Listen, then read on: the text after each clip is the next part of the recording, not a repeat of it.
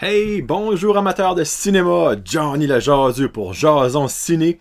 Et oui, ça fait deux semaines qu'on s'est pas parlé, actually un petit peu plus que deux semaines, mais euh, c'est temps de faire un show.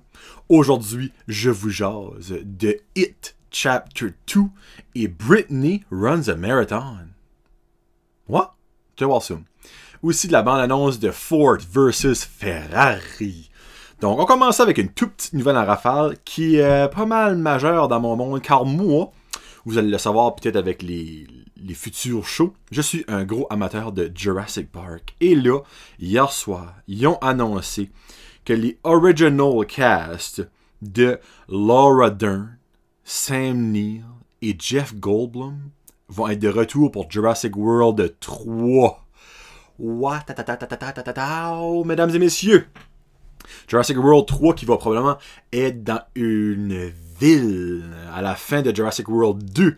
On voit un dinosaure qui atterrit à Las Vegas. Donc j'ai vraiment hâte de voir ça. Bon, ça c'est une petite nouvelle à rafale. On commence avec It Chapter 2. Pennywise, bonjour. Je lui donne un beau 4 jaseux sur 5. Oui, 4 jaseux sur 5. Moi, j'ai vraiment aimé It 2. Certaines personnes qui ont dit Ah, c'est même pas épeurant, ta, Mais It From the Start est pas censé être un film d'horreur comme bad. Il y a une petite histoire de jeunesse là-dedans et pas mal de fou rire, d'humour, de joke. Donc, moi, le premier, j'ai adoré. Le deuxième, j'ai adoré. J'ai un petit peu moins aimé le deuxième à cause que j'ai trouvé que c'était un tout petit peu long. Il aurait pu te couper un bon 20 minutes dans le groupe, ça aurait même pas paru. Mais reste que c'était quand même vraiment bon. Euh, le acting, ben moi, Bill Hader, je l'adore. Euh, Charlie, euh, excuse moi Charlie. McAvoy, euh, c'est McAvoy. Je joue Charlie McAvoy parce que je suis un, gros fan de hockey aussi. C'est. Euh... Hey, frick, c'est-tu pas Charlie McAvoy, une minute là. Euh... James McAvoy. Il y a aussi Jessica Chastain.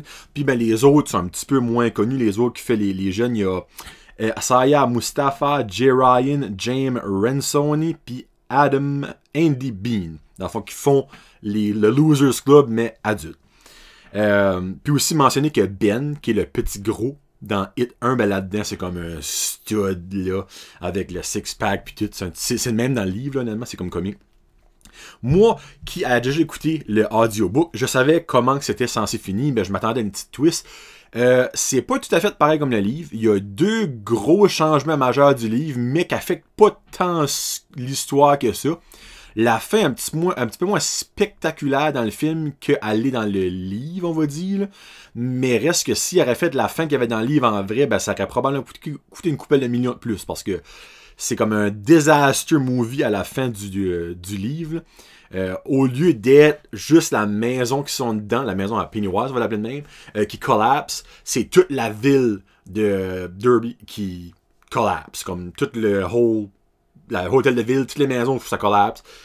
C'est juste ça, dans le fond, qui est différent. Puis il y a aussi, je me rappelle plus quel petit jeune, mais il y a un petit jeune qui rencontre une tortue qui parle.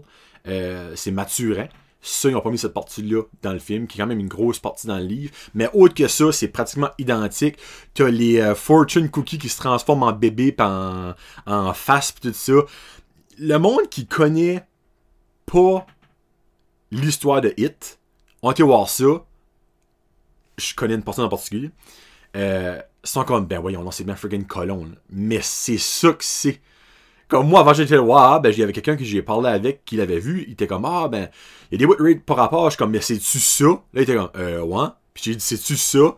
Euh, ouais. Je suis comme, ben, ça, c'est dans le livre, c'est normal que c'est le wool. Là, il était comme, ah, ben là, moi, je pensais qu'il y avait un qui inventé ça de même. Non, c'est littéralement dans le livre que c'est fait de même. So, euh, moi, sur mon amour, si vous avez aimé un, vous allez adorer le 2.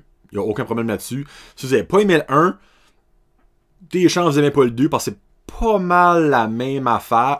C'est un petit peu plus freakant par bout, mais encore là, je dis un petit peu plus, c'est vraiment rien de comme euh, tu dormiras pas ce soir. Euh, pense pas qu'il va en avoir un 3, parce que l'histoire finit là. Le livre de Hit finit là. Donc, s'il en font un 3, ça va être quelque chose qui va être écrit de nouveau. Malgré que Stephen King, il a une espèce d'affaire, lui, là, comme que, guess, qu'il pourrait avoir une suite de hits, mais ce serait pas vraiment Pennywise, ça serait comme. Parce que si vous avez vu le film, il est comme trop lumière. Ça rapport à ça, il est comme euh, de macro, macroverse, qu'appelons ça. Donc, euh, moi, je vous suggère de le voir. Si vous aimez les, beaux petits sauts. Puis, euh, sérieusement, Bill Sarsgaard, Skarsgård, mais de la misère de son nom, en Pennywise, il, est mental. Pour vrai, il, est freaking à shit. Là. hello, hey, what's up, Charlie? Il a fait comme des bouches qui comme fait un V, c'est fucky. Mais en tout cas, moi j'ai vraiment aimé Pennywise, ça mérite d'être vu, ça mérite d'être watché sur Netflix ou louez-les, parce que là il est probablement plus au cinéma par le temps que ça sort. Mais anyway, thumbs up à Pennywise, puis à It. Mon deuxième film sera Britney Runs a Marathon. Et je lui donne un 3.5 jaseux sur 5. Hey, yeah! J'ai été voir ce film-là parce que je suis censé aller voir un autre film, mais finalement, ma femme voulait qu'on va le voir. Puis, actuellement, on l'a pas encore été le voir. Ça, va falloir qu'on se dépêche. Ça fait je me dis, bah, moi, je voulais vraiment aller au cinéma. Ça j'ai été voir ça. M'attendais à un film de merde, je vous mentirai pas. Puis là, faut que je trouve le nom de cette actrice-là parce que je l'ai vraiment aimé. Je l'avais déjà comme vu dans quelque chose. Euh, Brittany, c'est euh, Gillian Bell. Dans quoi c'est que je l'ai déjà vu? Parce que quand j'écoutais le film, tout le long, ben pas, pas tout le long, euh, ah, c'est dans Rough Night avec Scarlett Johansson que je l'avais vu. Donc, en gros, Gillian Bell, c'est une fille de party qui reste avec une roommate superficielle. Dans le fond, c'est la ugly fat friend, pretty much de nos jours, je sais pas si ça existe encore, mais moi, dans mon temps, ça existait. Dans chaque groupe, il y avait une fille plus grosse, moins belle. À tout le temps là, pour genre faire paraître mieux les autres, mais qui étaient déjà belles, tu sais. Je sais pas si vous voyez le concept que je veux dire par là. Mais en gros, Britney Soxy. Euh, elle mange mal, elle est tout le temps sur la brosse, elle fait zéro exorcisme. Finalement, elle va au docteur parce qu'elle avait mal au dos elle avait mal quelque part. En tout cas, elle a au docteur, finalement, le docteur, a dit, ah, ce serait peut-être une bonne idée que tu perdrais un petit peu de poids, patata. Puis, ah oui, elle avait été voir le docteur parce qu'elle voulait avoir des painkillers, mais tu sais, pour faire le party. There you go. Pour faire le party. Puis ben là, le docteur, évidemment, il dit que moi, je te prescrirais pas ça parce que tu n'en as pas besoin. Mais quelque chose que tu aurais besoin, c'est de te prendre en main. Puis ben là, finalement, elle, après ça, ben, elle prend pas ça au sérieux, elle se prend pas en main. Puis finalement, jusqu'à ça que, ben là, euh, faut qu'elle se prenne en main. Puis là, ben, elle décide de courir un marathon. La moitié, la première moitié du film, j'ai pas aimé, je suis comme, bon, bon, bon. L'histoire de la fille qui se prend en main, qui, qui perd plein de poids, court un marathon, puis elle le fait. Ça s'enlignait par là. Finalement, la deuxième moitié du film, euh, j'ai adoré. Parce qu'il y a eu plein de struggles. Elle a réalisé que le chiffre qu'elle voyait sur la c'est ça qui la rendait malade. So, elle a collissé la à la poubelle. Puis elle vivait sa vie parce qu'elle a enlevé plein de monde, plein de cancers de sa vie en faisant ça, comme ses roommates, comme du monde qu'elle avec, qui se moquait d'elle, qui l'encourageait jamais. Puis finalement, pour trouver du monde qui l'appréciait pour qui ce qu'elle était. il y avait une belle story, puis honnêtement, à la fin, euh, j'ai presque versé une alarme. je me suis auto-surpris, j'étais comme, que je me suis approprié vraiment elle. Euh, puis c'est pour ça que j'ai vraiment été surpris par le film. C'est un film qui a été produit par Amazon Studio. Euh, habituellement, les films Amazon Studio, ça reste sur Amazon Prime, mais là, de plus en plus, on en faire sortir dans les cinémas quand c'est des bons. Lui, là, moi, je vous suggère de le voir. La première moitié, c'était trop cheesy, mais ça finit. Ça finit bien. Regarde, ok. Je vais pas buster de bubble à le coup son marathon. À le coup. Mais sans euh, pas de misère. Il y a du struggle. Puis vraiment, euh, j'ai aimé la, la, morale du film. So, dans le fond, tu peux te prendre en main, mais il y a trop de monde qui se prend en main, puis c'est le chiffre qui garde. Donc le chiffre, la pesée. C'est important, c'est garde la pesée, la pesée, le chiffre. Si j'engraisse, pas normal. Ben, il y a un bout dans le film, que c'est, elle le réengraissait, mais elle réalisait pas dans le fond que c'était juste du mieux qu'embarquer dans elle, comme parce que, comme que, il y a beaucoup de monde qui sait déjà, le muscle pèse plus que le gras, mais le muscle est bon à voir comparé au gras. Donc, en gros, vous comprenez le concept. Euh, puis, ben, c'est. Moi, Britney Runs a Marathon, j'ai été agréablement surpris. Je donne aussi un thumbs up.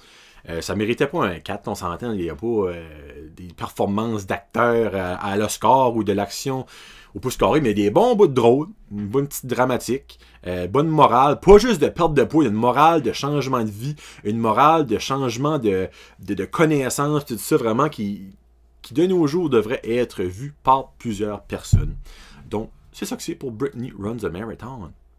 Et là, je vous confirme que le prochain, qui sera probablement dans deux semaines, euh, le prochain Jason Ciné, inclura le film Hustlers avec Jennifer Lopez et euh, Cardi B puis Lizzo et aussi le film Ad Astra avec Brad Pitt parce que je vais voir Ad Astra avec mon partner Frédéric Arsenault, c'était quoi Frédéric, euh, ce soir puis euh, demain je vais voir Hustlers. Donc potentiellement il pourrait peut-être avoir un journal ciné la semaine prochaine. Donc vous aurez peut-être pas besoin d'attendre deux semaines. Je sais pas encore. On verra bien ce qui se passe parce qu'il y a aussi Rainbow qu'il faut jouer euh, puis il y a Abominable, le film d'animation, je vais voir avec mon garçon probablement en fin de semaine ou la fin de semaine prochaine.